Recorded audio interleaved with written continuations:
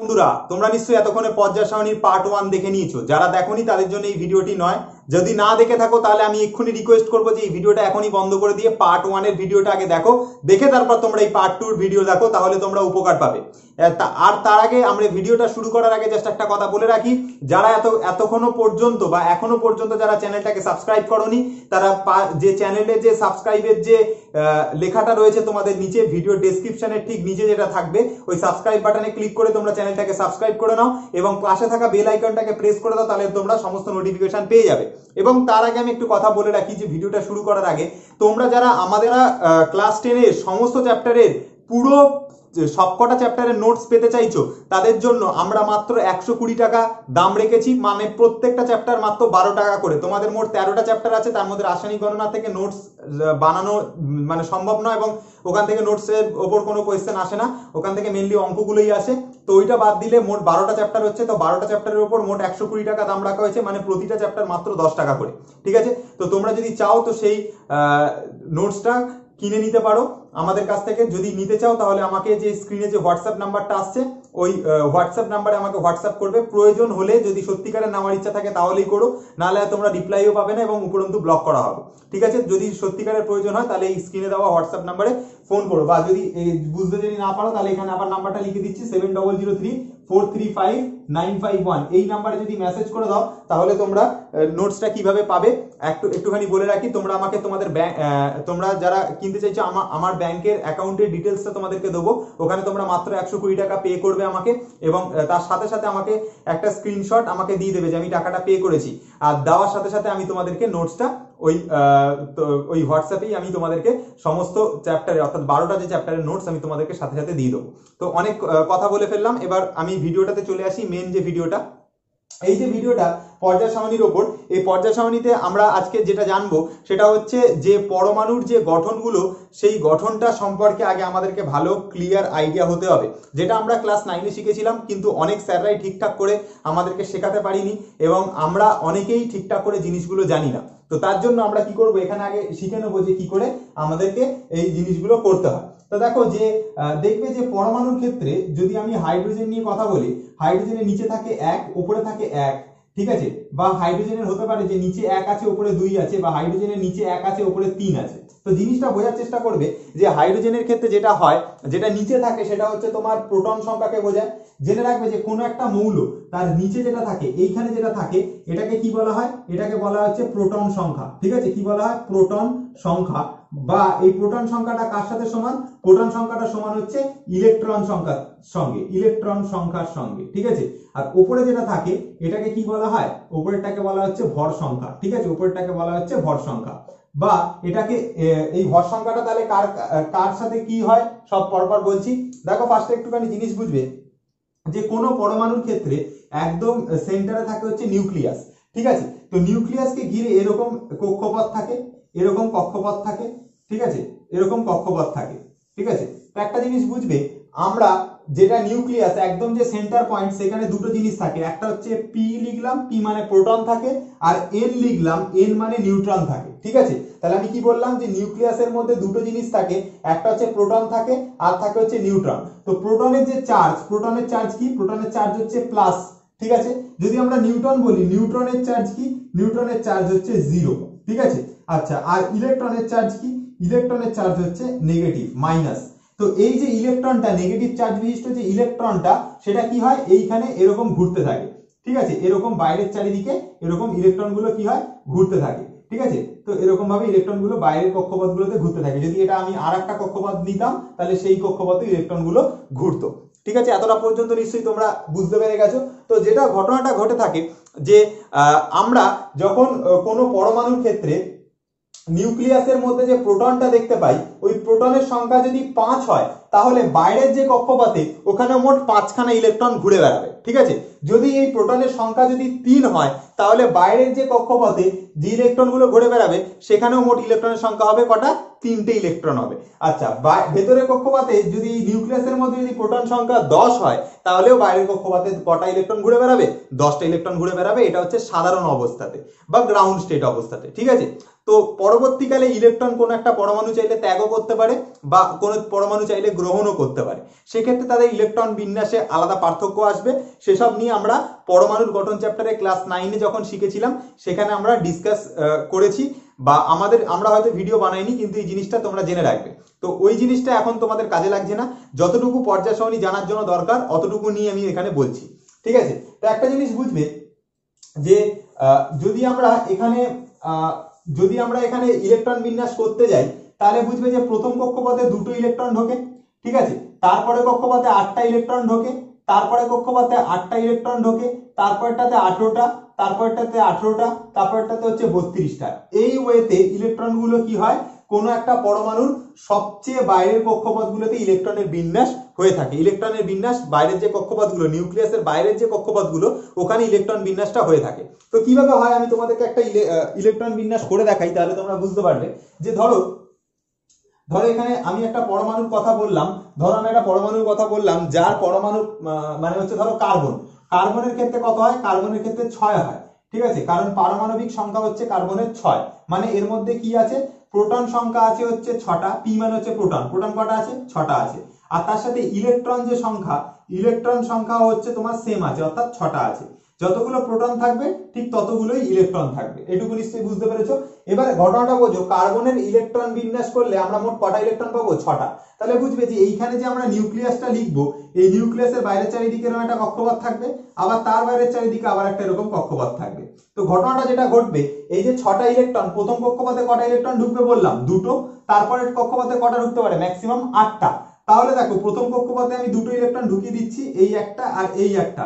ঢুকে গেল দুটো ইলেকট্রন তো ছটার মধ্যে থেকে দুটো ইলেকট্রন এখানে ঢুকে গেছে। তাহলে বাকি থেকে যাচ্ছে কটা ইলেকট্রন বাকি থেকে যাচ্ছে চারটে ইলেকট্রন ওই চারটে ইলেকট্রন এইখানে ঢুকবে। একটা, দুটো, তিনটে আর হচ্ছে চারটে।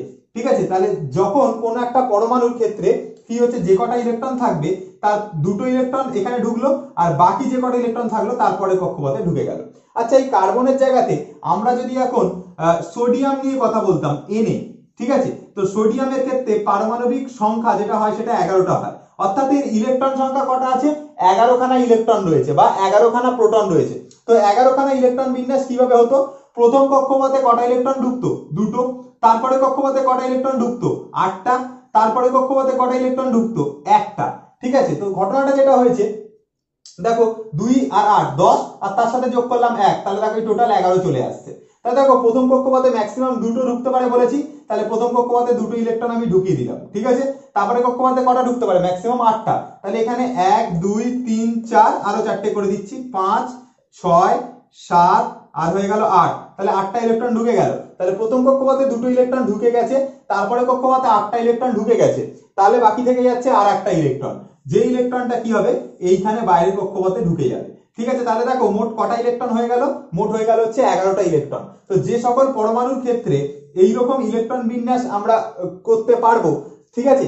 সেই সমস্ত পরমাণুগুলোকে আমরা কি বলব? আদর্শ মৌল বলব। কথাটা বোঝা যায়নি, আমি জানি। কিন্তু ঘটনাটা বুঝবে যে যে সকল পরমাণুর ক্ষেত্রে, দেখো কি হয় ঘটনাটা?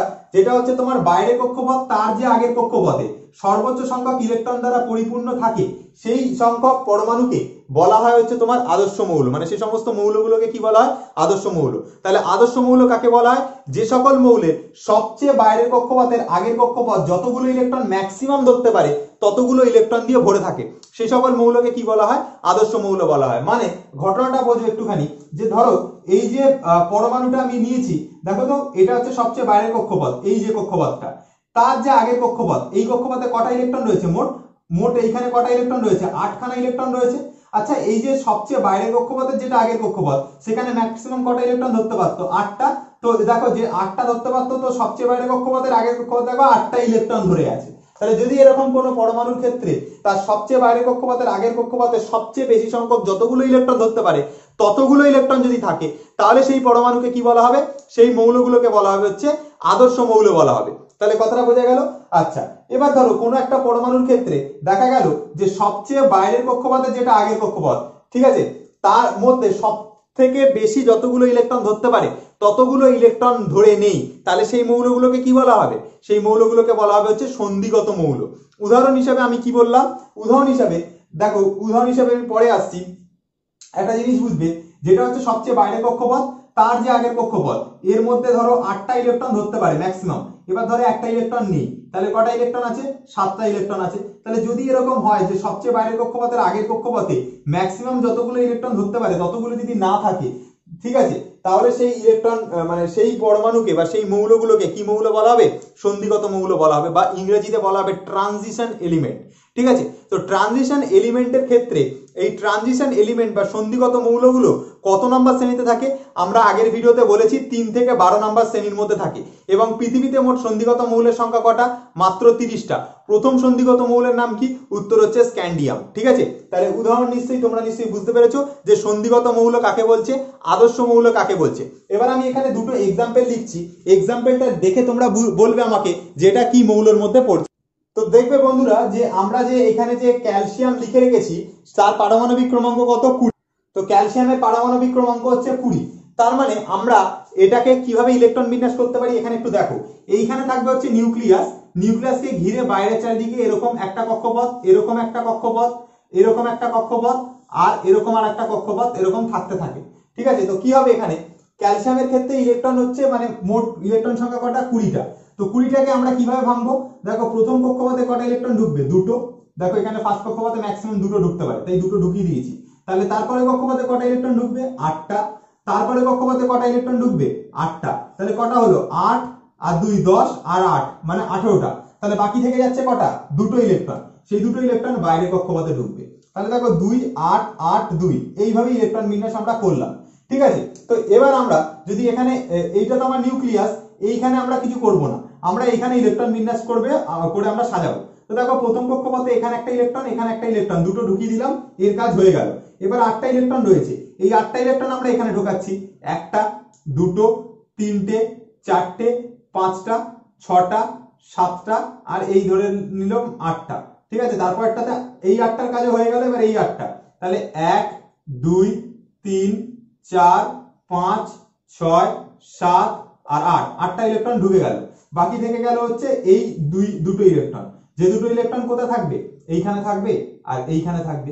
তো এইভাবে আমরা ইলেকট্রন বিন্যাস করলাম। কার করলাম? না হচ্ছে আমরা ক্যালসিয়ামের ইলেকট্রন বিন্যাস করলাম। তো ক্যালসিয়ামের ক্ষেত্রে দেখো সবচেয়ে যেটা বাইরের কক্ষপথ, ওই বাইরের কক্ষপথে মোট কটা ইলেকট্রন রয়েছে? দুটো। দেখো, এর সবচেয়ে বাইরের কক্ষপথে দুটো ইলেকট্রন রয়েছে। এই যে দুটো, এই একটা আর এই একটা। তো যদি যে পরমাণুর ক্ষেত্রে, কোন একটা পরমাণুর ক্ষেত্রে যদি সবচেয়ে বাইরের কক্ষপথে যতগুলো ইলেকট্রন থাকবে, সেটাকে বলা হবে ওই পরমাণুর যোজ্যতা। মানে এইখানে দেখো ক্যালসিয়াম, তার সবচেয়ে বাইরের কক্ষপথে কটা ইলেকট্রন রয়েছে? দুটো। তাহলে যোজ্যতা কত হলো? দুই। আচ্ছা এই যে মৌলটা, এটা দেখো সবচেয়ে বাইরের কক্ষপথের আগের যে কক্ষপথটা, সেই কক্ষপথ দেখো কি দ্বারা ভর্তি আছে? সম্পূর্ণ সংখ্যক ইলেকট্রন দ্বারা ভর্তি আছে। যদি এরকম থাকে, দেখো এই কক্ষপথে ম্যাক্সিমাম কটা ইলেকট্রন ধরতে পারতো? আমার কোয়েশ্চেন অনুযায়ী আটটা ধরতে পারতাম, এখানে লিস্টটা লিখে রেখেছি। তাহলে আটটা ধরতে পারতো, দেখো আটটাই ভর্তি আছে এই কক্ষপথে। যদি এরকম থাকে, তাহলে সেই মৌলগুলোকে কি মৌল বলা হবে? আদর্শ মৌল বলা হবে। যদি না থাকে, তাহলে তাকে কি বলা হবে? আদর্শ মৌল বলা হবে না। তাকে বলা হবে হচ্ছে সন্ধিগত মৌল। যেমন হচ্ছে এই যে কপারের ক্ষেত্রে হবে। দেখো, কপারের ইলেকট্রন বিন্যাসটা এইভাবে করাটা সম্ভব নয়। ওইটা করবার জন্য তোমাদেরকে ইলেভেন টুয়েলভে উঠতে হবে এবং ইলেভেন টুয়েলভে সায়েন্সের চ্যাপ্টারে ওই S block P block D ব্লকের যে এলিমেন্ট যে বিন্যাস করতে হয়, যে সাবসেলগুলোকে কাজে লাগিয়ে ওইগুলো জানতে হবে, তাহলে করতে পারবে। তো আমি বলে রাখি যে, এই যে কপার যেটা, এটা দেখবে তিন থেকে বারো নম্বর শ্রেণির মধ্যে পড়ছে। ঠিক আছে? তো তিন থেকে বারো নম্বর শ্রেণির মধ্যে পড়ছে বলেই এটাকে কি বলা হবে? তোমার ট্রানজিশন এলিমেন্ট বা হচ্ছে সন্ধিগত মৌল বলা হবে। তো তোমরা একটা জিনিস জেনে রাখবে জিঙ্ক ক্যাডমিয়াম আর হচ্ছে তোমার মার্কারি এইচ জি এই যে তিনটি মৌল, এই তিনটি মৌলও কিন্তু তিন থেকে বারো নম্বর শ্রেণির মধ্যে পড়ে। কিন্তু পড়া সত্ত্বেও এই মৌলগুলোকে সন্ধিগত মৌল বা হচ্ছে ট্রানজিশন এলিমেন্ট বলা হয় না। ঠিক আছে? ঠিক আছে? তো তার বিষয় সম্পর্কে আলাদা ব্যাপার আছে। কিন্তু এইটুকু জেনে রাখো যে এই যে ইলেকট্রন বিন্যাসটা আমরা যারা বুঝতে পেরেছি, এইটুকু খালি ভালো করে মাথার মধ্যে ঢোকাও যে তিন থেকে বারো নম্বর শ্রেণির মধ্যে যে সমস্ত মৌলগুলো রয়েছে তারা হচ্ছে সন্ধিগত মৌল। তো তার ইলেকট্রন বিন্যাস এইভাবে দেখানোটা সম্ভব নয়। আমাকে S block P block D block F block এঁকে দেখাতে হবে। যেটা হচ্ছে তোমরা ক্লাস ইলেভেন টুয়েলভের চ্যাপ্টারে তোমরা পাবে এবং তোমাদের এই জিনিসটা এখন সিলেবাসে নেই। সুতরাং তাই জন্য আমি ওইটা নিয়ে ডিসকাস করছি না। তোমরা জানবে যে এই মৌলটা আপাতত জেনে রাখো যে তিন থেকে বারো নম্বর শ্রেণির মধ্যে পড়ছে। তাই জন্য এই কপারকে কি বলা হচ্ছে? সন্ধিগত মৌল। আরও দু একটা সন্ধিগত মৌলের নাম লিখে দিচ্ছি এখানে। যেমন হচ্ছে ধরো তোমাদের এফি ফেরাস। ঠিক আছে, ফেরাসও হবে সন্ধিগত মৌল। ফেরাস মানে হচ্ছে লোহা। ঠিক আছে, লোহা হবে হচ্ছে সন্ধিগত মৌল, ঠিক আছে? তারপরে ধরো, তোমরা এখানে ধরলাম হচ্ছে কোবাল্ট, সিও। কোবাল্ট হবে হচ্ছে সন্ধিগত মৌল। স্ক্যান্ডিয়াম এটা হবে হচ্ছে একটা সন্ধিগত মৌল। তো এগুলো সব এক একটা কি মৌলের মধ্যে পড়ছে? এগুলো সব হচ্ছে সন্ধিগত মৌলের মধ্যে তোম- তোমাদের পড়ছে। ঠিক আছে? আচ্ছা সন্ধিগত মৌলের সাথে আদর্শ মৌলের মধ্যে ডিফারেন্স কোথায় বা পার্থক্য কোথায়? সন্ধিগত মৌলগুলো সকলেই হবে ধাতু। ঠিক আছে? কিন্তু আদর্শ যে মৌলগুলো, সেই আদর্শ মৌলগুলো ধাতুও হতে পারে, আবার অধাতুও হতে পারে। ঠিক আছে? আচ্ছা সন্ধিগত মৌলগুলোর ক্ষেত্রে একটা বিশেষ বৈশিষ্ট্য আছে যে সন্ধিগত মৌলগুলোর ক্ষেত্রে ওদের একাধিক যোজ্যতা দেখা যেতে পারে। ঠিক আছে? যেমন ফেরাসের ক্ষেত্রে যোজ্যতা দুই হতে পারে, যোজ্যতা তিন হতে পারে। ঠিক আছে? কপারের ক্ষেত্রে প্লাস একটা একটা ইলেকট্রন বেরিয়ে গিয়ে কখনো যোজ্যতা এক বা দুই হতে পারে। ঠিক আছে? দুই মানে যোজ্যতা দুই বা তিনও হতে পারে। ঠিক আছে? তো এই জন্য আমরা কি করব? যে মানে যে সমস্ত সন্ধিগত মৌল আছে, তাদের ক্ষেত্রে একাধিক যোজ্যতা দেখা যায়। কিন্তু যেটা হচ্ছে তোমাদের আদর্শ মৌল, তার ক্ষেত্রে একাধিক যোজ্যতা দেখা যায় না। তার ক্ষেত্রে একটা সুনির্দিষ্ট যোজ্যতা থাকে। যেমন আমি এখানে ক্যালসিয়ামের যখন ইলেকট্রন বিন্যাস করেছিলাম, তখন বলেছিলাম যে, যেটা সবচেয়ে বাইরের কক্ষপথ সেখানে মাত্র দুটো ইলেকট্রন রয়েছে। যেহেতু দুটো ইলেকট্রন রয়েছে, সেই জন্য ওই পরমাণুটাকে কি ওর পরমাণুটার যোজ্যতা কত হবে? ওই পরমাণুটার যোজ্যতা হবে মাত্র হচ্ছে দুই হবে, ঠিক আছে? এই জিনিসটা তোমরা এখনও পর্যন্ত নিশ্চয়ই বুঝতে পেরেছ। তাহলে যারা এখন সন্ধিগত মৌল আর আদর্শ মৌল বুঝতে পেরেছ, তাদের জন্য আমি এখন নেক্সট জিনিস নিয়ে আলোচনা করছি। দেখো বন্ধুরা, আমরা যখন ক্যালসিয়ামটা পড়েছিলাম, সে ক্যালসিয়ামের ক্ষেত্রে কি ছিল? যে ক্যালসিয়ামের ক্ষেত্রে একটা মানে নিউক্লিয়াস ছিল, তার বাইরের চারিদিকে এরকম কক্ষপথ ছিল, এবং যেটা বাইরে কক্ষপথ দুটো আটটা আটটা, তারপরটাতে আবার আরও কটা ধরবে? আটটা ধরে দুটো ধরেছিল। তো এখানে এরকম দুটো ইলেকট্রন ধরেছিল। তো তুমি মনে করো যে মনে করো যে সবচেয়ে বাইরে যে কক্ষপথটা রয়েছে, সেই কক্ষপথের মধ্যে যতগুলো ম্যাক্সিমাম ইলেকট্রন ধরতে পারে, ততগুলো ইলেকট্রনই ঢুকে আছে। যদি এরকম কখনো কোনো কেস থাকে, তখন সেই মৌলগুলোকে কি মৌল বলা হবে? সেই মৌলগুলোকে বলা হবে হচ্ছে নোবেল গ্যাস, বা হচ্ছে নিষ্ক্রিয় মৌল, বা হচ্ছে অভিজাত মৌল, বা হচ্ছে সেতু মৌল, ঠিক আছে? তো বোঝা গেল, যেমন কয়েকটা সেতু মৌল বা হচ্ছে অভিজাত মৌলের উদাহরণ দিচ্ছি তোমাদেরকে, হিলিয়াম, নিয়ন, আর্গন, ঠিক আছে, ক্রিপ্টন, ঠিক আছে, এরকম রয়েছে। তো দেখো, আমি হিলিয়ামের ক্ষেত্রে যদি আমি এর পারমাণবিক ক্রমাঙ্ক দুই বলি, ঠিক আছে, হিলিয়ামের ক্ষেত্রে যদি আমি পারমাণবিক ক্রমাঙ্ক দুই বলি, তাহলে কি হবে? দেখো, এখানে আমরা যে ইলেকট্রন বিন্যাস ম্যাক্সিমাম করতে পারি, সেটা হচ্ছে দুটো, আটটা আটটা, আঠেরোটা আঠেরোটা, আর হচ্ছে বত্রিশটা। এইভাবে ইলেকট্রন বিন্যাস যদি থাকে তাহলে মানে থাক, থাকবে। এইভাবে ইলেকট্রন বিন্যাস ম্যাক্সিমাম দুটো ইলেকট্রন ধরতে পারে প্রথম কক্ষপথে, তারপরটাতে ম্যাক্সিমাম আটটা ধরতে পারে, তারপরটাতে ম্যাক্সিমাম আটটা, তারপর আঠেরো আঠেরো, তারপর বত্রিশটা ধরতে পারে।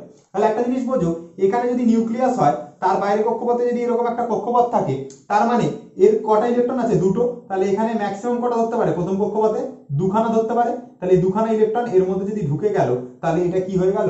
ম্যাক্সিমাম কটা ধরতে পারে? এর মধ্যে দুটো ধরতে পারে। আর ঢুকে গেছে কটা? দুটোই ঢুকে গেছে। তাহলে এই মৌলগুলোকে কি বলা হবে?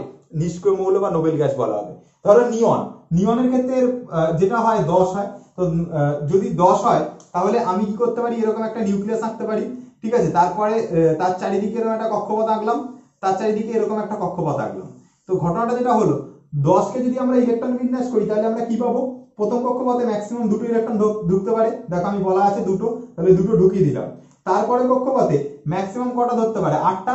তাহলে আমি আটটা ঢুকিয়ে দিলাম। তাহলে দুই আর আটে কত হয়? দশ হয়। আর এর আছে কটা ইলেকট্রন দশটা ইলেকট্রন আছে। তাহলে প্রথম কক্ষপথে দুটো ইলেকট্রন ঢুকে গেল। ঠিক আছে? তারপরে কক্ষপথে ম্যাক্সিমাম কটা ধরতে পারে? আটটা? তাহলে আটটা আমি ঢুকিয়ে দিচ্ছি। একটা, দুটো, তিনটে, চারটে, পাঁচটা, ছটা, সাতটা, আর হচ্ছে আটটা। দেখো এই সবচেয়ে বাইরে কক্ষপথে ম্যাক্সিমাম কটা ইলেকট্রন ধরতে পারে? আটটা। আর আছে কটা ইলেকট্রন আটটা। যদি এরকম থাকে, তাহলে সেই মৌলগুলোকে কি মৌল বলা হবে? সেই মৌলগুলোকে বলা হবে হচ্ছে সেতু মৌল, বা হচ্ছে তোমার নিষ্ক্রিয় মৌল, বা বলা হবে তোমার হচ্ছে অভিজাত মৌল, বা বলা হবে হচ্ছে নোবেল গ্যাস। ঠিক আছে? এবার পরীক্ষাতে কোয়েশ্চেন আসে যে এদেরকে বিরল গ্যাস বা নোবেল গ্যাস কেন বলছে? এর কারণ জানবে যে এদেরকে প্রকৃতিতে খুব কম পরিমাণে পাওয়া যায়, সেই জন্য এরা হচ্ছে নোবেল গ্যাস হিসেবে পরিচিত। যদি বলা হয় যে এদেরকে সেতু মৌল কেন বলা হয়, এই কোয়েশ্চেনটা মাধ্যমিকে আসে যে সেতু মৌল কেন বলা হয়। জানবে যে এই যে নিষ্ক্রিয় মৌলগুলো, এগুলো কত নম্বর শ্রেণীতে থাকে? আঠারো নাম্বার শ্রেণীতে থাকে। ঠিক আছে? তো জানবে যে সতেরো নম্বর যে শ্রেণি, সেখানে কোন মৌল থাকছে? হ্যালোজেন মৌল। ঠিক আছে? আচ্ছা হ্যালোজেন মৌল, হ্যালোজেন। আচ্ছা আঠারো নম্বরে কারা থাকছে? আঠারো নম্বরে থাকছে নিষ্ক্রিয়রা, ঠিক আছে? আর এক নম্বরে কারা থাকছে? এক নাম্বার দেখবে এখান থেকে আঠারোতে শেষ হয়েছে, তারপরে আবার প্রথম থেকে শুরু হয়েছে এক মানে এরকম একটা জায়গাতে এক পাবে। তো আমি এখানে একটা লিখছি। তো জানবে, এই যারা নিষ্ক্রিয় মৌল হয়, এই নিষ্ক্রিয় মৌলগুলো, এই হ্যালোজেন মৌল আর এই এক নাম্বার মৌলগুলোর মধ্যে সেতুর মতো সংযোগ স্থাপন করে, সেই জন্য এই যে তোমার নিষ্ক্রিয় মৌল যারা, তাদেরকে কি বলা হচ্ছে? তাদেরকে বলা হচ্ছে তোমার সেতু মৌল, ঠিক আছে? আচ্ছা এদের ক্ষেত্রে এদেরকে বলা হয় অভিজাত মৌল। এর কারণ কি? এদের মধ্যে সব থেকে যতগুলো বেশি ইলেকট্রন শেষ কক্ষপথে ধরতে পারে, ততগুলো ইলেকট্রন দ্বারাই এরা পরিপূর্ণ থাকে। তারা হচ্ছে বড় লোক। লোক যেমন বড় লোকদের ব্যাংকে যত টাকা দরকার, পুরো যদি পুরো টাকাটা থাকে, তখন তারা অভিজাত ব্যক্তি। ঠিক সেরকম ভাবে এদের মধ্যে যতটা ইলেকট্রন দরকার, পুরো ইলেকট্রন দ্বারা এরা পুরো ভর্তি আছে। এদের বাইরে কক্ষপথে যতগুলো ইলেকট্রন ম্যাক্সিমাম ধরতে পারে, ততগুলো ইলেকট্রন দিয়ে এদেরকে ভর্তি করা আছে। সেই জন্য এরা কি মৌল? এরা হয়ে যাচ্ছে এই জন্য তোমার নিষ্ক্রিয় মৌল বা অভিজাত মৌল, ঠিক আছে? তাহলে অভিজাত মৌল বা নিষ্ক্রিয় মৌল কাদের বলে নিশ্চয়ই বুঝতে পেরেছ? কনসেপ্ট নিশ্চয়ই ক্লিয়ার হয়েছে। বাইরের কক্ষপথে যতগুলো ইলেকট্রন ধরতে পারে, যদি ততগুলো ইলেকট্রন থাকে, তাহলে সেই মৌলগুলোকে কি বলা হবে? নিষ্ক্রিয় মৌল। আমি আর একটা এক্সাম্পল তোমাদেরকে বোঝার সুবিধার জন্য আমি এখানে করে দেখাচ্ছি, ঠিক আছে? বুঝবে একটুখানি ভালো করে। দেখো, আর্গনের ক্ষেত্রে আর্গনের মোট হচ্ছে আঠারোখানা ইলেকট্রন তো এটার যদি আমি ইলেকট্রন বিন্যাস করি, প্রথম কক্ষপথে দুটো ইলেকট্রন পাবো, তারপরে কক্ষপথে আটটা পাবো, তারপরে কক্ষপথে আটটা পাবো। দেখো ফার্স্ট পক্ষপাতে ম্যাক্সিমাম কটা ধরতে পারে? দুটো আছে কটা? দুটো। তারপরটাতে কটা ধরতে পারে? আটটা আছে কটা? আটটা। তারপরে পক্ষপাতে ম্যাক্সিমাম কটা ধরতে পারে? আটটা আছে কটা? আটটা। তাহলে এই সব কটাকে যোগ করে দেখো আঠেরো আসবে। দুই আর আটে দশ আর আট আঠেরো। তাহলে দেখো এরও আঠেরোটা ইলেকট্রন রয়েছে। ঠিক আছে? তার মানে এর যদি আমি ইলেকট্রন বিন্যাস করি তাহলে এই একটা তোমার হচ্ছে আহ, কক্ষপথ টানবো তারপরে এরকম আর এরকম। তাহলে প্রথম কক্ষপথে দুটো ইলেকট্রন ঢুকে যাবে তারপরটাতে আটখানা ইলেকট্রন ঢুকবে আর তারপরে কক্ষপথে আটটা ইলেকট্রন ঢুকবে। আচ্ছা এই থার্ড যে কক্ষপথটা, এখানে ম্যাক্সিমাম কটা ইলেকট্রন ধরতে পারতো? মোট আটটা ইলেকট্রন ধরতে পারতো? আছে কটা ইলেকট্রন আটটা ইলেকট্রনই ভর্তি আছে। তার মানে আমরা কি বুঝব? যে এই যে মানে তোমার মৌলটা, এই মৌলটা হচ্ছে নিষ্ক্রিয় মৌল, ঠিক আছে? তাহলে আশা করি এতটা পর্যন্ত তোমরা বুঝতে পেরেছ। আচ্ছা যদি জিজ্ঞাসা করা হয় যে এদের যোজ্যতা কত হবে? এদের যোগ্যতা হবে হচ্ছে শূন্য হবে, শূন্য, কিচ্ছু হবে না যোগ্যতা যেমন পরীক্ষাতে ফিজিক্যাল সায়েন্স না পারলে আমরা শূন্য পেয়ে যাই, ঠিক এটারও যোগ্যতা হচ্ছে তাই, শূন্য হবে। কি করে হবে? একটা কথা তোমাদেরকে বলে রাখি, যখন আমি ক্যালসিয়াম দেখিয়েছিলাম, ওর ইলেকট্রন বিন্যাস যখন করেছিলাম টোয়েন্টি ছিল, তো দুই, আট আট, তারপরে কক্ষপথে দুই লাস্ট কক্ষপথে যেটা ইলেকট্রন ছিল সেটাই হচ্ছে ওর যোগ্যতা আমি যদি এখন সালফার নিয়ে কথা বলি সালফারের ক্ষেত্রে ষোলো হবে, তাহলে এর ইলেকট্রন বিন্যাস করলে দুই পাবো তারপর একটাতে আট পাবো তারপর একটাতে হচ্ছে তোমার ছয় পাবো। ঠিক আছে? তাহলে কি আমি বলব যে এর যোগ্যতা হচ্ছে ছয়। উত্তর হচ্ছে না। আমি কখনোই বলব না যে এর যোগ্যতা হচ্ছে ছয়। তাহলে এর যোগ্যতা কত হবে? দেখো, এইখানে যে ছয় যে নাম্বারটা লাস্ট কক্ষপথে যেটা থাকে, সেটাই হচ্ছে যোগ্যতা হয়। তাহলে এর বাইরে কক্ষপাতে একদম লাস্ট কক্ষপথে ছটা ইলেকট্রন রয়েছে। তাহলে আমি বলতে পারি এর যোগ্যতা ছয়, কিন্তু বলছি না ছয়। তার আগে, তার বদলে আমি বলব যোগ্যতা হবে দুই। হ্যাঁ তোমরা ঠিকই শুনেছো যোগ্যতা হবে দুই। কি করে? বোঝাই তোমাদেরকে। দেখো লাস্ট যে কক্ষপথটা, সেখানে কটা ইলেকট্রন রয়েছে? ছটা ইলেকট্রন রয়েছে। তাহলে তো আমি বলতে পারি যোগ্যতা ছয়, কিন্তু ছয় কেন হচ্ছে না? দেখবে যে যেটা হয় আর কি, এই যে ছয় নাম্বারটা, এই নাম্বারটা দেখতে হবে এটা চারের থেকে বড় না হচ্ছে চারের থেকে ছোট। তাহলে যেহেতু এই ছয় নাম্বারটা চারের থেকে বড়, সেই জন্য আমরা কি করব? আট থেকে ছয়কে বিয়োগ দেবো। ঠিক আছে? তো আট থেকে যদি ছয়কে বিয়োগ দিই, তাহলে উত্তর কত পাবো? দুই। তাই জন্য এর যোগ্যতা কত হয়ে যাবে? সালফারের যোগ্যতা হয়ে যাবে হচ্ছে দুই। আচ্ছা আমি আর একটা এক্সাম্পল তোমাদের জন্য নিচ্ছি। মনে করো হচ্ছে ক্লোরিন ক্লোরিনের ক্ষেত্রে ক্লোরিন হচ্ছে সতেরো নম্বরে আসে তাহলে আমি যদি ইলেকট্রন বিন্যাস করি দুই, তারপর এটাতে আট, তারপর এটাতে হচ্ছে তোমার সাত। তাহলে দেখো লাস্ট যে কক্ষপথে সাতটা ইলেকট্রন রয়েছে, তাহলে আমি যোগ্যতা বলতে পারি সাত। কিন্তু আমি সাত বলব না যোগ্যতা বলব এক। কারণ কি যে সাত যে নাম্বারটা, এটা কার থেকে বড়? এটা হচ্ছে চারের থেকে বড়। এই সাত নাম্বারটা চারের থেকে বড়। যেহেতু এই সাতটা চারের থেকে বড়, সেই জন্য আমরা কি করব? আট থেকে বিয়োগ দেবো সাতকে। দিলে কত পাবো? এক। তাহলে যোজ্যতা কত হয়ে গেল? ক্লোরিনের যোজ্যতা হয়ে গেল এক। তাহলে জানবে যে ক্লোরিনের ক্ষেত্রে বা যে কোনো পরমাণুর ক্ষেত্রে যোজ্যতা বার করার জন্য যদি লাস্ট কক্ষপথের ইলেকট্রনটা চারের থেকে বেশি হয়, তখন আমরা কি করব? আট থেকে সেটাকে বিয়োগ দিয়ে দেবো। ঠিক আছে? যদি চারের থেকে সেটা কম হয় তাহলে আর বিয়োগ দেবো না, তাহলে সেটাই ওর যোগ্যতা হবে। যেরকম আমি এখানে আর একটা পরমাণু তোমাদের জন্য লিখছি। মনে করো হচ্ছে আমি লিখলাম এখানে, মনে করো আমি লিখলাম হচ্ছে অ্যালুমিনিয়াম। অ্যালুমিনিয়াম লিখলাম। অ্যালুমিনিয়ামের ক্ষেত্রে হচ্ছে তেরো হচ্ছে ইলেকট্রন সংখ্যা। তাহলে তেরো যদি হয়, প্রথম কক্ষপথে দুটো ইলেকট্রন, তারপরটাতে আটটা, তারপরটাতে তিনটে। দেখো আট আর দুই দশ আর তিনে তেরো। তাহলে দেখো লাস্ট কক্ষপথে তিনটে ইলেকট্রন রয়েছে। তাহলে এর যদি লাস্ট কক্ষপথে তিনটে ইলেকট্রন থাকে তার মানে যেহেতু লাস্ট তিনটে ইলেকট্রন রয়েছে, সেটা চারের থেকে বড় না ছোট? চারের থেকে ছোট কোনটা? এই তিনটা তিনটা চারের থেকে ছোট। যেহেতু ছোট, সেই জন্য এই যোগ্যতা কত হয়ে যাবে? যোগ্যতা হয়ে যাবে হচ্ছে তিন। ঠিক আছে? এতটা পর্যন্ত নিশ্চয়ই বুঝতে পেরেছ? আচ্ছা স্যার, তাহলে যদি বলি আপনি আমাকে বলুন যে সিলিকন যদি চোদ্দ হয়, তাহলে সিলিকনের ক্ষেত্রে দুই, আট আর হচ্ছে চার করলে তো আমি চোদ্দ পাবো? তো চার যেহেতু রয়েছে, তাহলে যোজ্যতা কত হবে? এর যোজ্যতা চার হবে। তুমি আট থেকে চারকে বাদ দাও, আর যদি এরকম চারই রাখো, তাহলে তার যোজ্যতা কত হবে? চারই হবে। ওই জন্য সিলিকনের যোজ্যতা কত হয়ে গেল? সিলিকনের যোজ্যতা হয়ে গেল হচ্ছে চার। ঠিক আছে? আচ্ছা এবার ধরো আমি ইয়ে করলাম যে তোমাদের এখান থেকে নিয়নের একটা যোজ্যতা বার করছি, তাহলে যোজ্যতা কত হবে? তো দেখো, নিয়নের ক্ষেত্রে যেটা হচ্ছিল, নিয়নের ক্ষেত্রে দশ হচ্ছিল, তো দশ করলে আমি দুই আর আট পাবো। ঠিক আছে? তো দুই আর আট যদি আমি পাই, তাহলে ওর বাইরের পক্ষপাতে আট রয়েছে। তার মানে ওর যখনই এইটা চারের থেকে বেশি হয়ে যাচ্ছে যেহেতু, দেখো এই আট নাম্বারটা চারের থেকে যেহেতু বেশি হয়ে যাচ্ছে, সেই জন্য আটকে আবার আট থেকে বিয়োগ দেবো। তাহলে উত্তরে কত পাবো? জিরো। ওই জন্য এই জিরো হচ্ছে নিয়নের যোজ্যতা। তাহলে যদি বলা হয় যে নিষ্ক্রিয় গ্যাসগুলোর যোজ্যতা কত? উত্তর কত লিখবে তোমরা? শূন্য হচ্ছে নিষ্ক্রিয় গ্যাসগুলোর যোজ্যতা। এবং তারা অবস্থান করে কত নম্বর শ্রেণীতে? উত্তর হচ্ছে আঠারো নম্বর শ্রেণীতে। আচ্ছা নিষ্ক্রিয় গ্যাসগুলো কি রাসায়নিক বিক্রিয়ায় অংশগ্রহণ করে? না, নিষ্ক্রিয় গ্যাসগুলো রাসায়নিক বিক্রিয়ায় অংশগ্রহণ করে না। এমন কোনো নিষ্ক্রিয় গ্যাস নেই যারা রাসায়নিক বিক্রিয়ায় অংশগ্রহণ করে।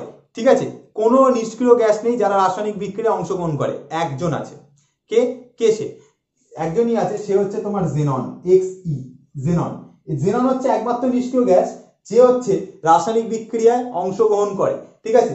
জেনন যদি তোমার এ ফ্লোরিনের সঙ্গে বিক্রিয়া করে, তাহলে xenon tetrafluoride X E F four বা এক্স ই এফ টু গঠন করে। তাহলে একমাত্র নিষ্ক্রিয় গ্যাসগুলোর মধ্যে কেউ রাসায়নিক বিক্রিয়ায় অংশগ্রহণ করে না বা কেউ কোনো যৌগ গঠন করতে পারে না। আমি কখনো বলতে পারি না নিয়ন ক্লোরাইড নিয়ন ক্লোরাইড, এরকম কখনো বলতে পারি না। কারণ এটা রাসায়নিক বিক্রিয়া অংশগ্রহণই করে না। এইটা হতে পারে না। কিন্তু একমাত্র জেনন আছে, যে কি করে? তোমার ক্লোরিনের সঙ্গে বিক্রিয়া করে জেনন টেট্রাফ্লোরাইড বা জেনন ডাইফ্লোরাইড বা জেনন হেক্সাফ্লোরাইড গঠন করতে পারে। ঠিক আছে? সে একমাত্র জেননই আছে, যে হচ্ছে তোমরা কি করতে পারে? রাসায়নিক বিক্রিয়ায় অংশগ্রহণ করতে পারে। বাকি এমন কোনো নিষ্ক্রিয় মৌল নেই যারা রাসায়নিক বিক্রিয়ায় অংশগ্রহণ করে। তাহলে এতদূর পর্যন্ত নিশ্চয়ই তোমাদের আইডিয়া ক্লিয়ার হয়েছে। তাহলে আমরা এখনও পর্যন্ত কি কি মৌল নিয়ে ডিসকাস করলাম? আদর্শ মৌল এক নাম্বার, দু নাম্বার কি নিয়ে ডিসকাস করলাম?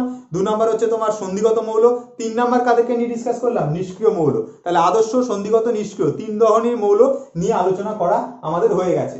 এবার আমরা নেক্সট জিনিস নিয়ে আলোচনা করব। তো পর্যায় সারণীতে একটা মানে খুব গুরুত্বপূর্ণ জিনিস হচ্ছে তোমাদের ল্যান্থানাইডস মৌল, ঠিক আছে? ল্যান্থানাইডস মৌল, ল্যান্থানাইডস। তো এই ল্যান্থানাইডস মৌল কোনগুলো? ল্যান্থানাইডস মৌল হচ্ছে, দেখবে পর্যায় সারণীতে দেখবে এরকম ভাবে পর্যায় গেছে এরকম ভাবে পর্যায় গেছে, ঠিক আছে? এরকম ভাবে পর্যায়। তো এইভাবে যদি আমরা আসতে থাকি এরকম ভাবে পরপর পরপর পর্যায় এসছে। তো আমরা দেখতে পাবো একটা টাইমে আসব ছ নাম্বার পর্যায়ে, ঠিক আছে? এটা এক, এটা টু এটা হচ্ছে থ্রি এটা ফোর এটা ফাইভ এটা হচ্ছে সিক্স ছ নম্বর পর্যায়ে। তো ছ নম্বর পর্যায়ে দেখবে একটা মৌল আছে সিরিয়াম, ঠিক আছে? এই সিরিয়াম থেকে আমরা যদি লুটেশিয়াম পর্যন্ত যাই, যে কটা মৌল পাবো, তার সংখ্যা হচ্ছে মোট চোদ্দটা, ঠিক আছে? তো আমরা ষষ্ঠ পর্যায়ে কি দেখতে পাবো? সিরিয়াম থেকে লুটেশিয়াম পর্যন্ত মোট চোদ্দটা মৌল পাবো। তো ষষ্ঠ পর্যায়ে সিরিয়াম থেকে লুটেশিয়াম পর্যন্ত যে চোদ্দটা মৌল পাবো, সেই মৌলগুলোকে কি বলা হচ্ছে? সেই মৌলগুলোকেই বলা হচ্ছে তোমার, না হচ্ছে ল্যান্থানাইডস মৌল। ঠিক আছে? এবং এদেরকে প্রকৃতিতে খুব কম পরিমাণে পাওয়া যায়, তাই জন্য এদেরকে কি বলা হয়? এর জন্য এদেরকে বলা হয় বিরল মৃত্তিকা মৌল, ঠিক আছে? তাহলে আমরা যদি জিজ্ঞাসা করি যে, স্যার ল্যান্থানাইডস মৌল তো বুঝলাম, তাহলে অ্যাক্টিনাইডস মৌল কাদের বলে? অ্যাক্টিনাইডস ঠিক আছে? তো অ্যাক্টিনাইডস মৌল হচ্ছে সেগুলো যাদের ক্ষেত্রে একই ডেফিনেশন কোনো পার্থক্য নেই, একটুখানি পার্থক্য আছে জাস্ট এ দেখো, আমরা ছ নম্বরে যে থেমেছিলাম তো, এবার আমরা আর একটা পর্যায়ে যাব, অর্থাৎ সাত নম্বর পর্যায়ে যাব। তো সাত নম্বর পর্যায়ে থোরিয়াম থেকে শুরু করে, আমরা যদি লরেন্সিয়াম পর্যন্ত দেখি, তো থোরিয়াম থেকে লরেন্সিয়াম পর্যন্ত আমরা হচ্ছে চোদ্দটা মৌল পাবো। তো এই যে থোরিয়াম থেকে লরেন্সিয়াম পর্যন্ত আমরা চোদ্দটা মৌল পাচ্ছি, এই মৌলগুলোকে কি বলা হচ্ছে? এই মৌলগুলোকে বলা হচ্ছে অ্যাক্টিনাইডস মৌল, ঠিক আছে? তাহলে অ্যাক্টিনাইডস মৌল কোথা থেকে কোথায়? থোরিয়াম থেকে শুরু করে লরেন্সিয়াম পর্যন্ত। আমরা যদি ল্যান্থানাইডস বলি, সেক্ষেত্রে কি হবে? সিরিয়াম থেকে লুটেশিয়াম পর্যন্ত। আশা করি এতটা পর্যন্ত নিশ্চয়ই তোমরা বুঝতে পেরেছ। এবার, এখানে একটা কথা বলার আছে। এই যে থোরিয়াম থেকে লরেন্সিয়াম পর্যন্ত এর মধ্যে মোট কটা মৌল? আমরা বলে দিয়েছি, চোদ্দটা মৌল আছে। ঠিক আছে? এতটা পর্যন্ত বুঝেছ? এবার অ্যাক্টিনাইডস মৌলগুলো সাধারণত কি হয়? তেজস্ক্রিয় মৌল হয়ে থাকে। আর যারা হচ্ছে তোমার ল্যান্থানাইডস মৌল, তারা কি হয়? প্রকৃতিতে খুব কম পরিমাণে পাওয়া যায়। ওই জন্য এদেরকে অপর কি নাম দেখা হয়? বিরল মৃত্তিকা মৌল। ঠিক আছে? বিরল মৃত্তিকা মৌল। ঠিক আছে? বিরল মৃত্তিকা মৌল। ঠিক আছে? এতটা পর্যন্ত নিশ্চয়ই বোঝা গেছে বিরল মৃত্তিকা মৌল বা ল্যান্থানাইটস মৌল আর অ্যাক্টিনাইটস মৌল বোঝা গেছে। এদের বৈশিষ্ট্য কি? এরা হচ্ছে তোমার তেজস্ক্রিয়। ঠিক আছে? আচ্ছা এবার একটা কথা বলি, যে তোমরা দেখবে যে পর্যায় সারণী যারা যারা নিয়ে বসেছো, যারা পর্যায় সারণী মানে ছকটা হাতের সামনে নেই, লুডোর কোড ভেবে অনেকে লুডো খেলতে শুরু করে দেবে ওর মধ্যে। তাও আমি তোমাদেরকে বলে রাখছি, ওই পর্যায় সারণীর ছকটা যারা নিয়ে বসনি, তাদের এই ভিডিওটা দেখার কোনো মানে হয় না। তো তোমরা এখনই কি করবে ভিডিওটাকে পজ করে দরকার হলে পর্যায় ছ- মানে ছকটা তোমরা নিয়ে বসো হাতের সামনে।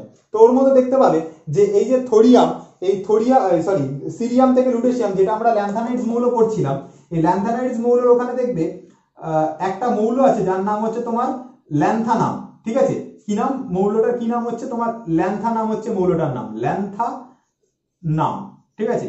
তো এই ল্যান্থানাম যে মৌলটা রয়েছে, সেই ল্যান্থানাম মৌলটার হচ্ছে কত নাম্বার ওর হচ্ছে রাসায়নিক মানে পারমাণবিক ক্রমাঙ্ক, সেটা হচ্ছে ফিফটি সেভেন ঠিক আছে? তাহলে কি বললাম? ল্যান্থানাম যে মৌলটা রয়েছে, তার পারমাণবিক ক্রমাঙ্ক কত?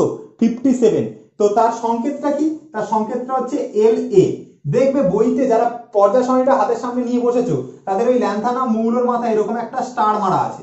ঠিক আছে? ওই স্টার মারার পরে যে মৌলগুলো রয়েছে, সেটাই হচ্ছে সিরিয়াম থেকে লুটেশিয়াম পর্যন্ত। দেখবে ওখানে মোট আমরা যে পর্দা সারণীতে যে শ্রেণি সংখ্যা দেখেছি, মোট কটা শ্রেণি সংখ্যা দেখেছি? আঠেরো খানা শ্রেণি হয়। পর পর পর পর এরকম যদি যাই, মোট আঠেরোটা শ্রেণি পাবো। তার মধ্যে কি হচ্ছে? আমরা এই যে ল্যান্থা নামের পরে মোট আমরা কটা মৌল? চোদ্দটা মৌল। আমাদের ওখানে ধরেনি। যে মৌলটা এরকম স্টার মারা আছে দেখবে ল্যান্থা নামের মাথায়। ওই ওই যে স্টার মারার পরে আর আর বাকি জিনিসটা এই সিরিয়াম থেকে লুটেশিয়াম পর্যন্ত দেখবে আলাদা করে একটা ছক করে নিচে দেওয়া আছে। তার মাথায় এরকম একটা স্টার মারা আছে। তো ওই জিনিসটা বুঝবে যে ওটা হচ্ছে ল্যান্থানাম আহ, মৌল। দেখবে ওখানে ফার্স্ট মৌলটা সিরিয়াম এবং লাস্ট মৌলটা হচ্ছে লুটেসিয়াম ঠিক পরেরটার ক্ষেত্রে যখন আমরা অ্যাক্টিনাইডস মৌল পড়ছি, ওই অ্যাক্টিনাইডস মৌলের ক্ষেত্রে এসি নামের একটা মৌল পাবে। এসি মানে অ্যাক্টিনাইডস যার অ্যাটমিক নাম্বার কত হবে? না এইটটি নাইন হবে। ঠিক আছে? তো অ্যাক্টিনাইডস এর অ্যাটমিক নাম্বার কত হবে? এইটটি নাইন এর মাথার উপর দেখবে দুখানা স্টার মারা আছে এরকম। দুখানা স্টার মারা আছে। তো তারপরে দেখবে যে অন্যান্য সব মৌল শুরু হয়েছে। ঠিক আছে? আর একদম নিচে চলে যাবে, নিচের দিকে একটা ছক আছে, যার মধ্যে থোরিয়াম, অর্থাৎ টিএইচ থেকে লরেন্সিয়াম পর্যন্ত মৌলগুলো পাবে। দেখবে তাদের মাথায় এরকম দুটো স্টার মেরে শুরু করা হয়েছে, ঠিক আছে? তো বুঝবে যে এরা হচ্ছে তোমাদের কি মৌল? অ্যাক্টিনাইডস মৌল।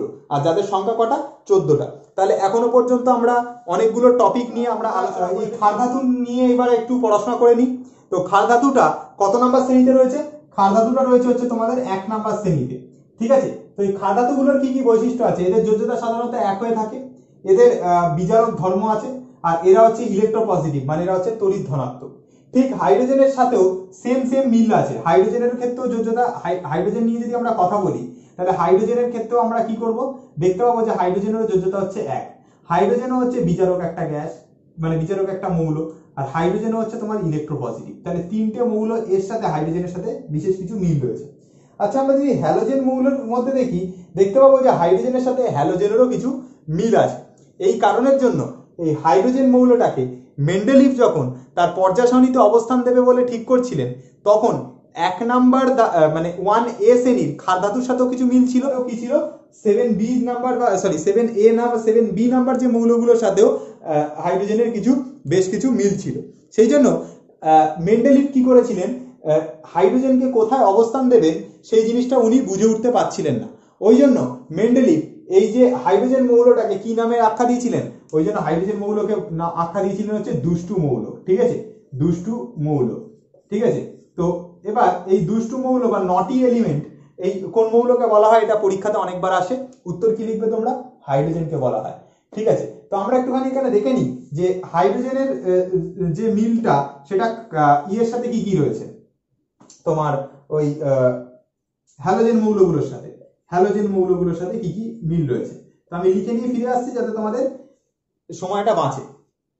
তো দেখতে পাবে যে এখানে যে হ্যালোজেন মৌলগুলো, তার যোজ্যতা এক। হাইড্রোজেনের যোজ্যতা কত? হাইড্রোজেনের ক্ষেত্রে দেখব আমরা হাইড্রোজেনের যোজ্যতা হচ্ছে এক। এটা একটা মিল রয়েছে। দেখবে হাইড্রোজেন হচ্ছে দ্বিপরমাণু মানে একটা হাইড্রোজেন আর একটা হাইড্রোজেন দুটো যদি পরপর জুড়ে দিই, তাহলে আমরা এইচ টু তৈরি করতে পারব, অর্থাৎ দ্বিপরমাণু তো এখানে দেখো এই যে আমরা হ্যালোজেন মৌলগুলো মানে কোনগুলো? ফ্লোরিন ক্লোরিন ব্রোমিন, এরাও হচ্ছে দ্বিপরমাণু কারণ এরাও এফ আর এফ যুক্ত হয়ে এফ এফ টু গঠন করতে পারে।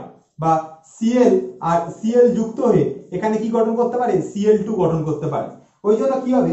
যে এই হ্যালোজেন মৌলগুলো যেরকম দ্বিপরমাণু হাইড্রোজেন হচ্ছে দ্বিপরমাণু এরাও এক একযোজি আয়ন গঠন করে হাইড্রোজেনও এক একযোজি আয়ন গঠন করে। সেই জন্য কি বলা হচ্ছে? হাইড্রোজেনকে ওই হ্যালোজেন মৌলগুলোর সাথেও কিছু মিল রয়েছে। আর এইখানে আমরা দেখেছি হাইড্রোজেনের সাথে এই মিলগুলো রয়েছে খাদ ধাতুর সাথে। তো তাই জন্য মেন্টালি বুঝে উঠতে পারছিলেন না যে হাইড্রোজেনকে কোথায় অবস্থান দেবেন, সেই জন্য হাইড্রোজেনকে কি নাম দিয়ে দিয়েছিলেন? দুষ্ট মৌল নাম দিয়ে দিয়েছিলেন। আচ্ছা হাইড্রোজেনের সাথে তো খাদ ধাতুর মিল রয়েছে আর কিছু অমিলও রয়েছে। কোন কোন অমিল? এই হচ্ছে অমিল। অর্থাৎ হাইড্রোজেন হচ্ছে একটা গ্যাস, কিন্তু খাদ ধাতুগুলো হচ্ছে কঠিন। আবার হাইড্রোজেনের হচ্ছে তোমার দ্বিপরমাণু আমরা এখানে দেখেছি, কিন্তু ধাতু হচ্ছে তোমাদের কি? এক পরমাণু। তাহলে এইটা হচ্ছে তোমাদের পার্থক্য রয়েছে। ঠিক আছে? আচ্ছা এবার এই যে হ্যালোজেন মৌলগুলোর সাথেও ঠিক সেরকম হাইড্রোজেনে কিছু পার্থক্য রয়েছে। কি কি পার্থক্য? এই হ্যালোজেন মৌলগুলো যেগুলো, তারা হচ্ছে সবাই ইলেকট্রোনেগেটিভ ইলেকট্রোনেগেটিভ ঠিক আছে? ইলেকট্রোনেগেটিভ আর এই যে হাইড্রোজেন যে পরমাণু, সে কি? হাইড্রোজেন পরমাণু হচ্ছে তোমাদের ইলেকট্রো পজিটিভ ঠিক আছে? আচ্ছা হাইড্রোজেন যেটা, সেটা হচ্ছে একটা বিজারক, ঠিক আছে? কিন্তু হ্যালোজেন যে মৌলগুলো, তারা সবাই জারক। তার মানে যে হ্যালোজেন মৌলগুলো, এরা কি? এরা হচ্ছে সবাই জারক। কিন্তু হাইড্রোজেন কি? হাইড্রোজেন হচ্ছে বিজারক তাহলে এরকম কিছু অমিলও হা- হাইড্রোজেনের সাথে হ্যালোজেনের রয়েছে। আবার ধাতুর সাথে এই হাইড্রোজেনেরও কিছু অমিল রয়েছে, যেটা হচ্ছে ধাতুগুলো হচ্ছে কঠিন, কিন্তু হাইড্রোজেন হচ্ছে তোমার গ্যাসীয়। হাইড্রোজেন হচ্ছে তোমার দ্বিপরমাণু, কিন্তু ধাতুগুলো হচ্ছে এক পরমাণু তাহলে এতটা পর্যন্ত নিশ্চয়ই তোমাদের আইডিয়া ক্লিয়ার হয়েছে। এবার আমি একটা কথা বলব, যে এই যে হ্যালোজেন মৌলগুলো, এরা কত নম্বর শ্রেণীতে অবস্থান করে? এরা হচ্ছে সতেরো নম্বর শ্রেণীতে অবস্থান করে আধুনিক পর্যায় সারণী অনুযায়ী। আর এই যে খারধাতুগুলো এরা কত নম্বর শ্রেণীতে অবস্থান করে? এরা হচ্ছে এক নম্বর শ্রেণীতে অবস্থান করে। আচ্ছা হ্যালোজেন মৌলগুলো কোন কোন মৌলগুলো? আমি আগের পাঠে পড়িয়ে দিয়েছি। যারা হচ্ছে ফ্লোরিন, ক্লোরিন, ব্রোমিন, আয়োডিন, এরা হচ্ছে তোমার হ্যালোজেন মৌল। আর খারধাতুগুলো কোনগুলো? ওই যে আগের আগের তোমার পাটের ট্রিক্স ওই যে হালিনাকে রুবি ছুঁয়ে ফেলেছে, অর্থাৎ হাইড্রোজেন এর ছাড়া আমরা যদি বাকি যেগুলো বলি লিথিয়াম সোডিয়াম পটাশিয়াম রুবিডিয়াম এরা হচ্ছে সব কোন ধাতুর মধ্যে পড়ছে? এরা সব ক্ষার ধাতুর মধ্যে পড়ছে। তাহলে আমরা group one group seventeen group eighteen সমস্ত গ্রুপ আমরা ক্লিয়ার করে ফেলেছি। ঠিক আছে? এবার আমরা চলে আসব গ্রুপ টুতে যেখানে আমরা পড়- পড়ব কি? না হচ্ছে ক্ষারীয় মৃত্তিকা ধাতু। তো একটা জিনিস জানবে যে, যেটা হচ্ছে গ্রুপ টু যেটা তোমাদের, সেই গ্রুপ টুর ক্ষেত্রে ওরা কি ধাতুর মধ্যে পড়ছে? এরা সব ক্ষারীয় মৃত্তিকা ধাতু।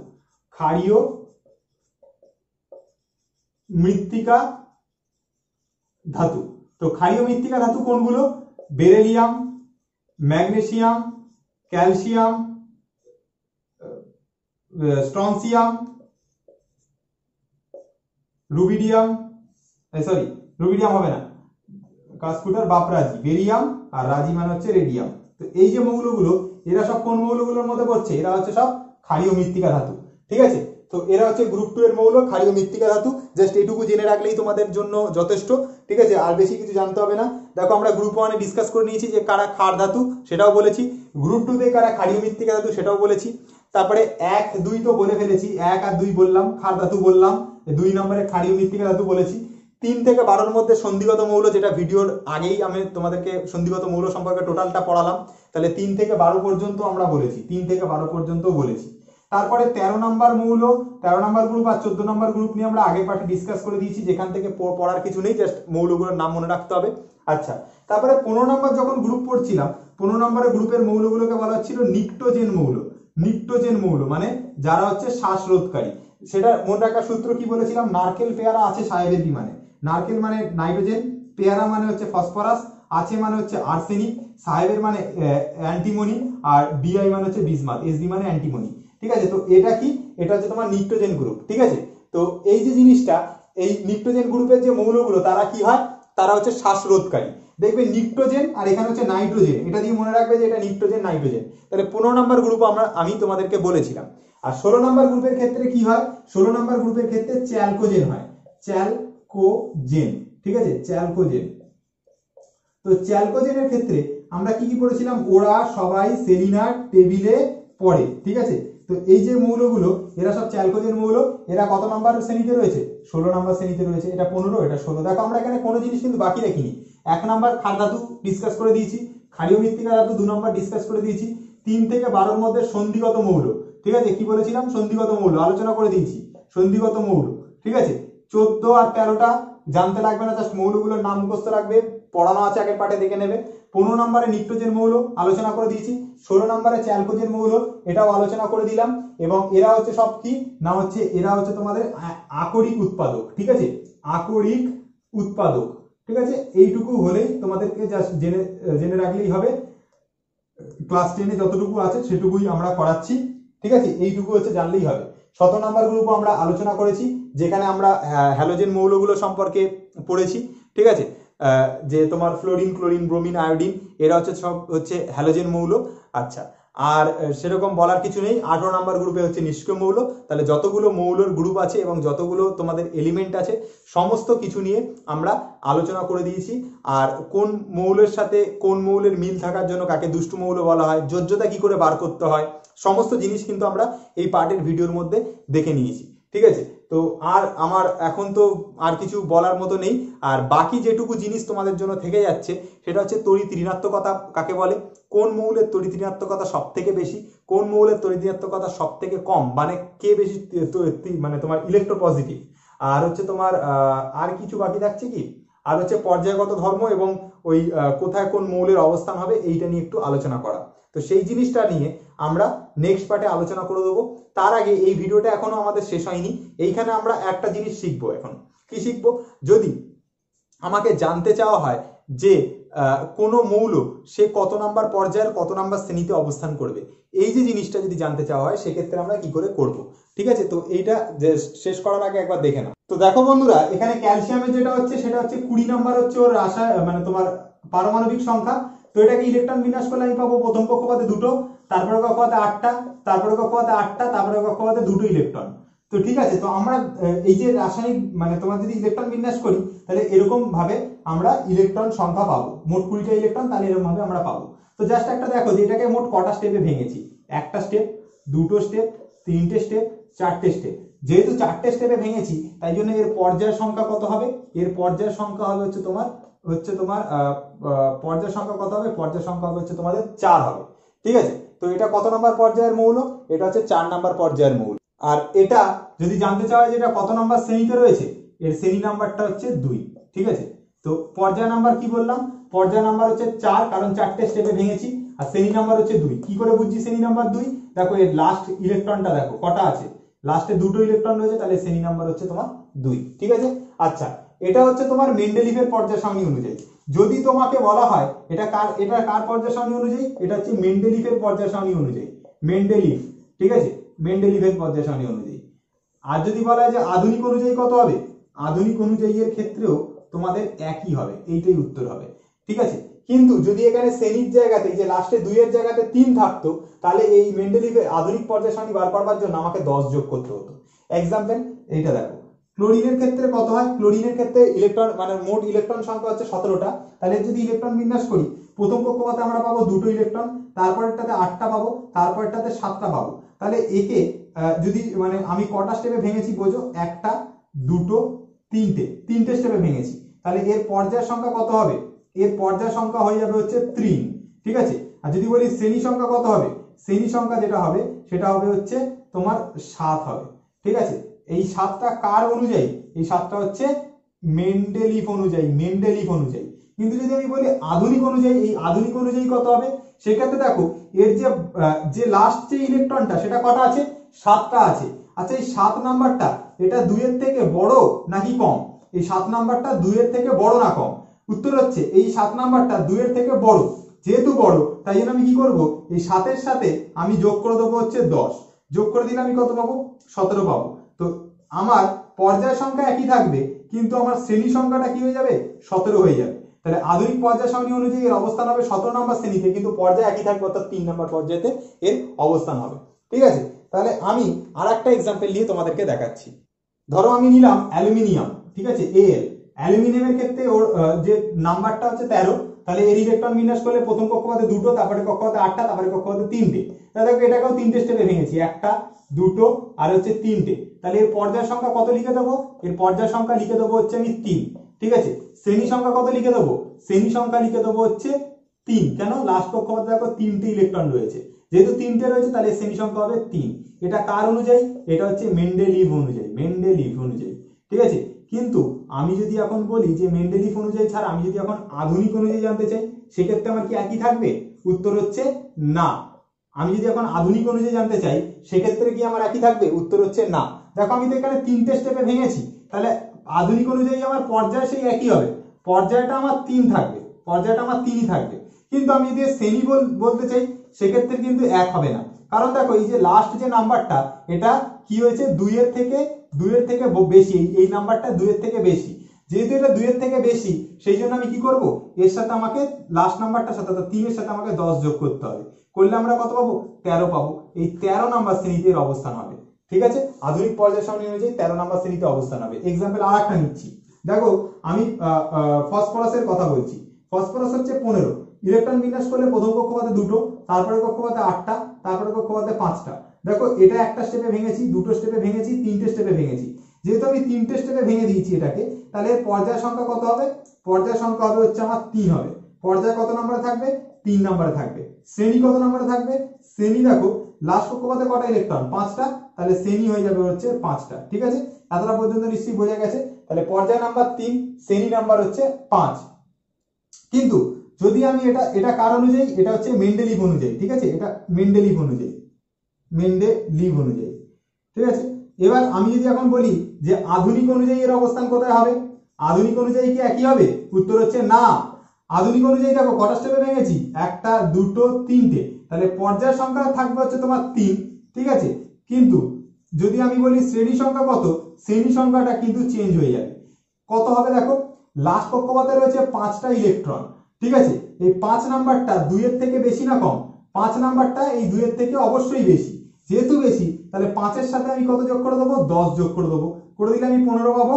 এই পনেরো হয়ে যাচ্ছে আমার আধুনিক পর্যায় সারণী অনুযায়ী ফসফরাসের অবস্থান। তাহলে এতটা পর্যন্ত নিশ্চয়ই তোমরা বুঝতে পেরেছ। পরীক্ষাতে এই প্রশ্নটা খুব খুব আসে কমন কোয়েশ্চেন যে একটা মৌল তোমাকে দিয়ে দেবে বা দুটো মৌল দিয়ে দিতে পারে, দিয়ে জিজ্ঞাসা করবে যে এই মৌলটার পর্যায় সারণীতে কোথায় অবস্থান হবে। সেক্ষেত্রে তোমরা দুটোই করে দেখাবে মেন্ডেলিফের পর্যায় সারণী অনুযায়ী আমার এখানে অবস্থান হবে আর আধুনিক পর্যায় সারণী অনুযায়ী আমার এখানে অবস্থান হবে। তোমাদেরকে দুটো পদ্ধতি শেখানো রয়েছে যে কোন পর্যায় সারণীতে কোথায় তার কার অবস্থান হবে। ঠিক আছে?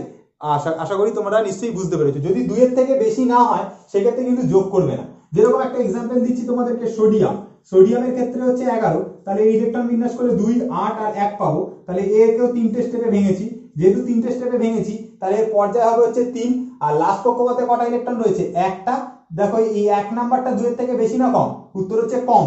যেহেতু কম, তাহলে আমার এটা পর্যায় সারণী যদি আমি আধুনিকের বলি, কিংবা মেন্ডেলিভের বলি, যাই বলি না কেন, এটা কত নাম্বার পর্যায়ে থাকবে? পর্যায় নাম্বার হবে তিন, আর পর্যায় হবে হচ্ছে তোমার তিন হবে। আর শ্রেণি নাম্বার কত হবে? শ্রেণি নাম্বার হবে হচ্ছে তোমার এক হবে। লাস্ট কক্ষপথে একটা ইলেকট্রন তাই এক হবে। হয়ে গেল, নিশ্চয়ই এতটা পর্যন্ত নিশ্চয়ই তোমরা বুঝতে পেরেছ। ঠিক আছে? তাহলে আর এখন এই পার্টে এতটা পর্যন্তই। নেক্সট পার্টে তড়িৎ ঋণাত্মকতা, তড়িৎ ধনাত্মকতা এবং সেই সঙ্গে পর্যায়গত ধর্ম, ঠিক আছে? এবং হচ্ছে আর কিছু বাকি থাকছে না, তোমাদের মোটামুটি সবই কমপ্লিট করিয়ে দিয়েছি। ঠিক আছে? এবার যদি তোমরা আমাদের নোটসটা নিয়ে পড়াশোনা করো গ্যারেন্টি দিতে পারি যে পরীক্ষাতে তোমরা হান্ড্রেডে হান্ড্রেড পার্সেন্টের ওপর অ্যান্সার করতে হান্ড্রেডে হান্ড্রেড পার্সেন্ট অ্যান্সার করতে পারবেই পারবে। ঠিক আছে? তাহলে আর কোনো অসুবিধা আশা করি তোমাদের থাকার কথা নয়। যদি কোনো জিনিস বাকি থেকে থাকে, সেই পার্টটুকু সেই জিনিসটুকু আমরা নেক্সট পার্টে আলোচনা করে দেবো এবং আমাদের টোটাল পর্যায় সারণী কমপ্লিট হয়ে যাবে। লাস্ট আর একটা পার্ট বাকি থাকল, যে পার্টের মধ্যে আমরা পর্যায় সারণী টোটাল আলোচনা করব এবং কমপ্লিট করব